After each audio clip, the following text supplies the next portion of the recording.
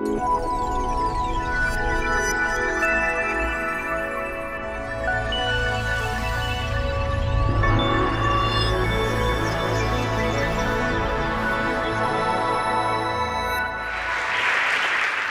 the theme I'd like to explore today is business itself and the business of business.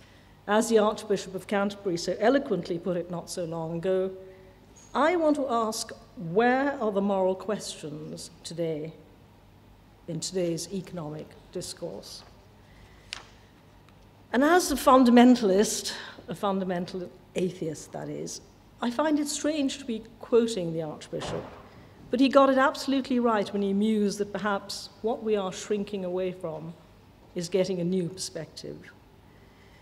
The guiding principle by which most of us live our lives today in the industrialized world is a separation, if you like, of our working and our personal lives.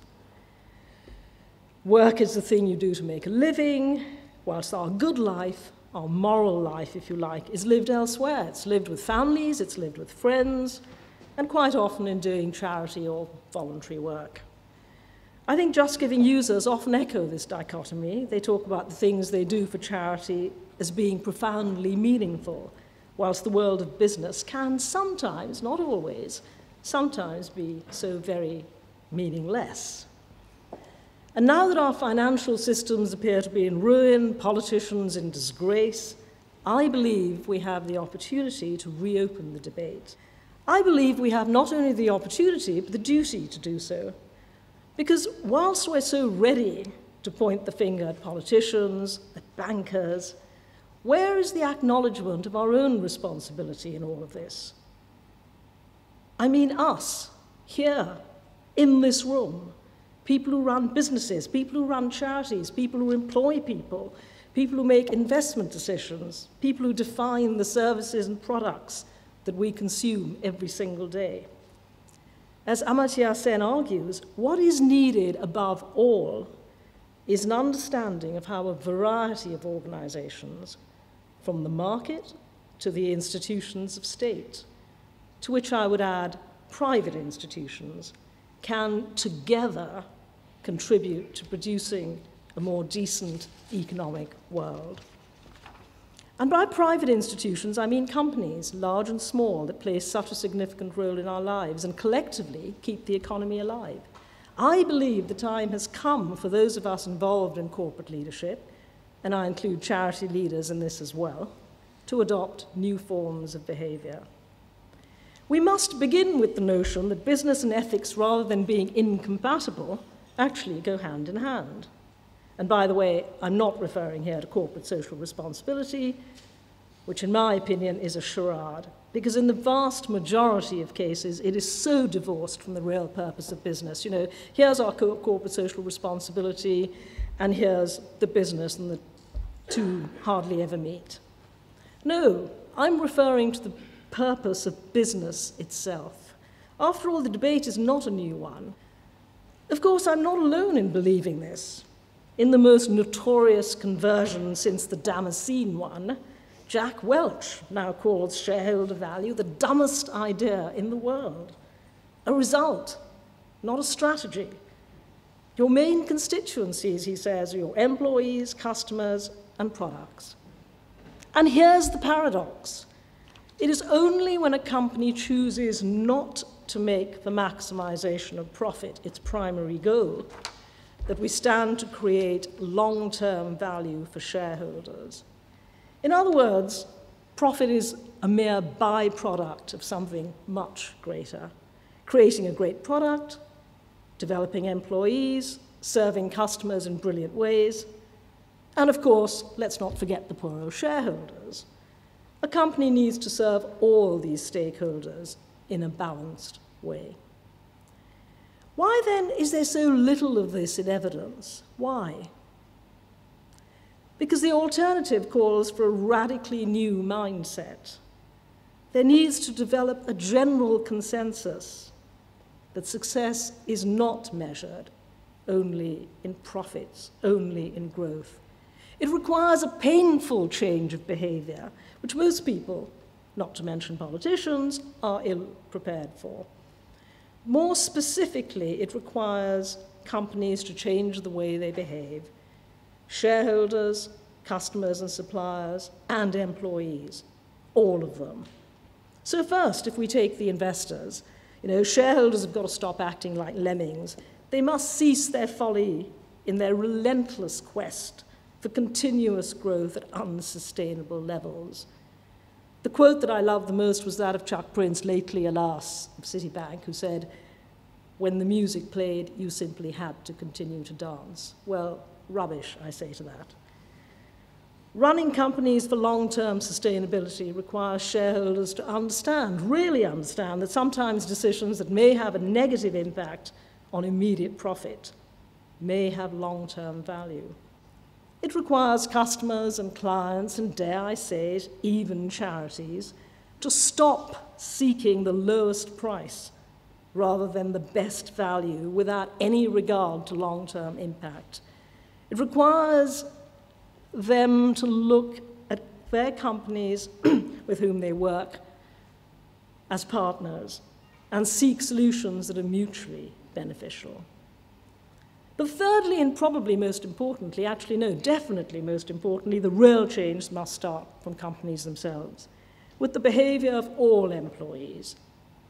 And make no mistake, that's you and that's me, and how we choose to interact with each other and with the outside world.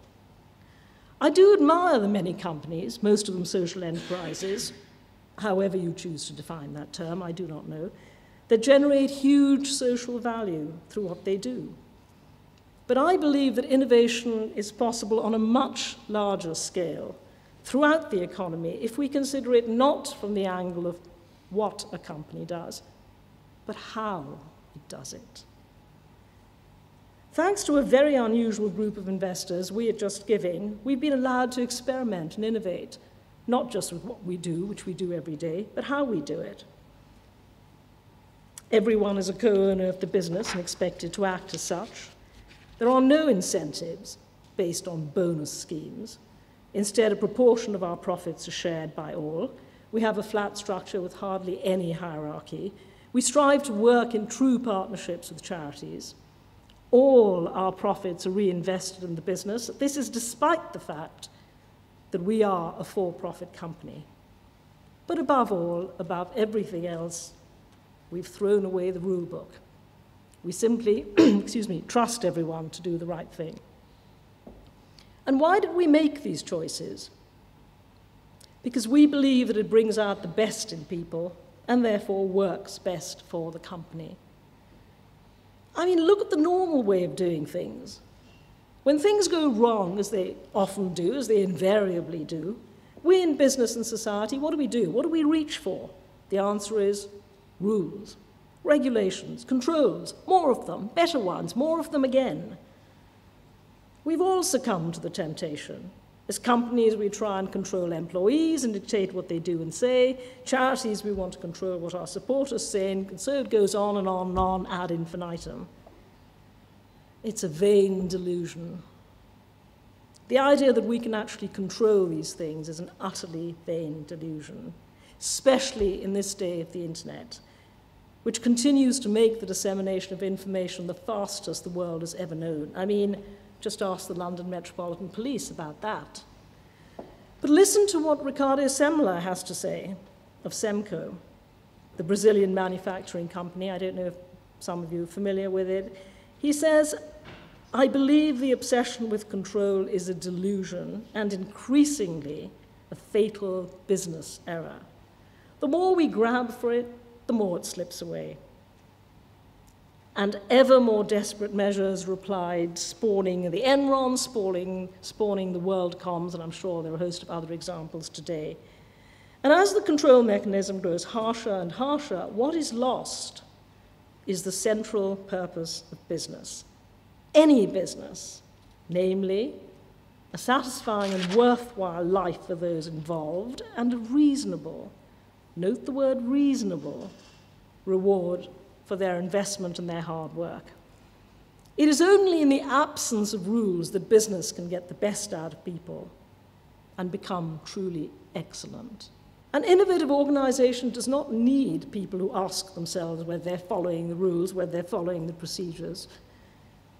It needs people who are constantly looking for better ways of doing things and constantly challenging what's been done before. And how that's achieved is actually quite difficult, to be honest, difficult to articulate because, in truth, it is difficult. It's very subtle. And I'll try and summarize what we've been doing at Just Giving. We aim to have honest conversations with each other, difficult ones. We aim to constantly debate how to serve our customers better. And far from being soft and quirky, ours is a tough and rigorous environment where decisions are made on facts, not on egos, and innovation happens without fear of failure. But these things can only emerge when you trust each other. We do not even have, wait for this, an org chart. And I'm often asked, how can you possibly not have an organizational chart? And we say, what would we want one for? We work in teams, we work in project teams, the teams form, the teams dissolve depending on the projects. projects. Some teams are more permanent than others, but an org chart is useless. What matters is the job at hand that needs to get done.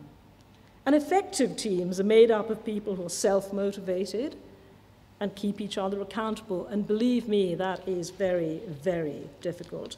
Because this means that everyone in the team the person you're going to have a drink with that evening, the person you go out with at weekends, is holding you accountable, not so called managers. Management and leadership comes with experience. It's there to provide direction, it's there to provide guidance, and to hold people accountable when teams fail to do so. This sounds simple, but as I've said, it's very difficult in practice because challenge requires courage and most of us are conditioned by culture and education to be compliant rather than questioning, especially at work.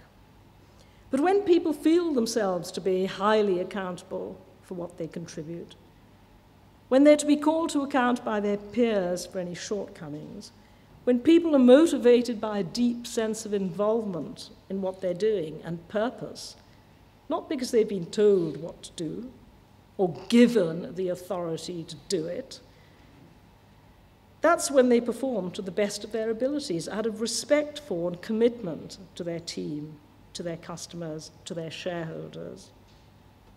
Where they have a meaningful say in the business, regardless of the nature of the job they do, they do not need to be told what to do. And if you do not need to be told what to do, then the need for hierarchy disappears.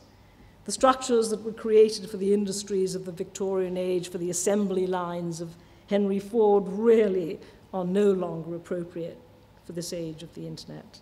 In summary, social innovation is available to all of us in all businesses, everything we're part of, and in the organizations to which we belong, but only if we truly want it.